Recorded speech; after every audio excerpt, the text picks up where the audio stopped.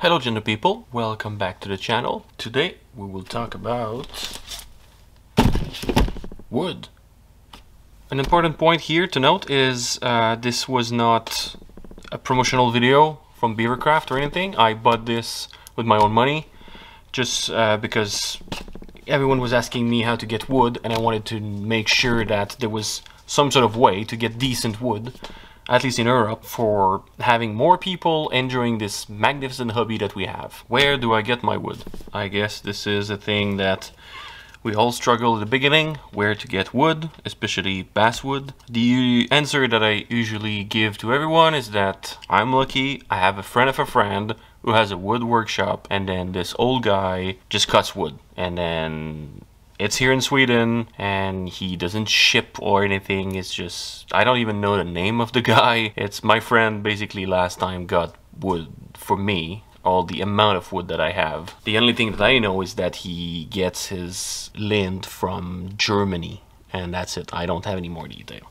All that to say, I'm sad that every time my answer is always I can't help you to get wood because I get it from uh, a friend of a friend.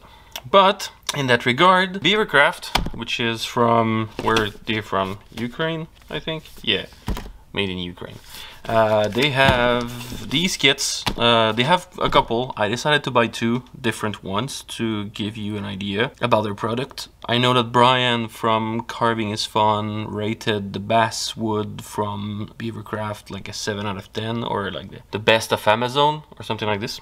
I know that at least it will be a way for you to get wood if it's good.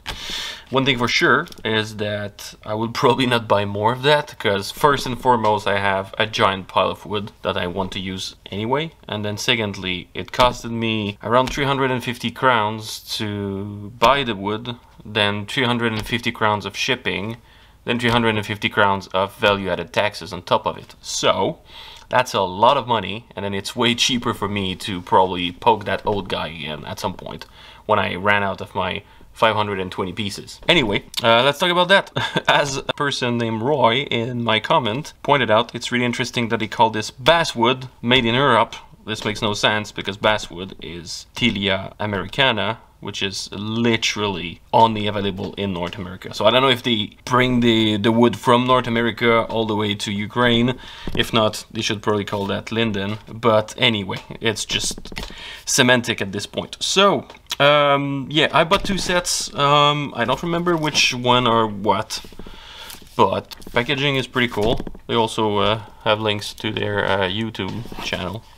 So I will just open this uh, 16 pack. I think it's all the same things. So let's open this. And yeah that's that's 16 one by one by almost six. Almost almost six. Okay I see a little bit of knots here and there like here for example but uh, this seems soft I, I, like I like the touch of it. Oh, it smells pretty good. Okay, so yeah, this box, this one here, is the 16 uh, 1 by 1 by 6 So I will probably cut them in half and make two carving because I don't think I will ever carve anything that it would be 1 by 1 by 6 but we'll see. And the other one that I have, there's a couple of 2 inches in there.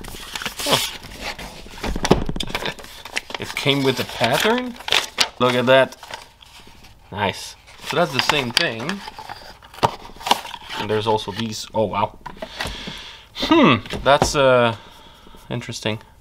That's a knot there, and that, uh, well, I could make a really big Viking out of that. This is heavy. What do we want to know, right, is, is it good? The wood itself. I'll put my glove, of course. I struck my knife just before this, and uh, yeah, let's go. Not bad.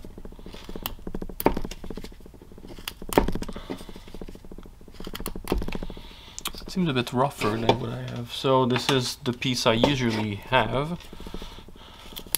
Yeah, it's... Uh, the, the wood that I have is way softer. That's good to know. Let's make another try. Of course, it's to cut... The best way to know if your knife is sharp is to cut the end grain. So Well, that works really well. No problem whatsoever. So what if,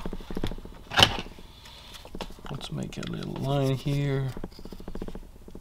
Let's do a little head really, really fast.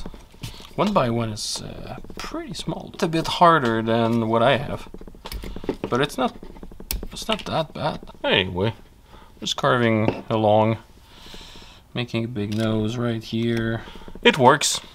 So, moral of the story, is it good? 100%. Yep, works really fine. If you don't know how to get wood, you can probably get that. I can easily see myself doing some carving with that.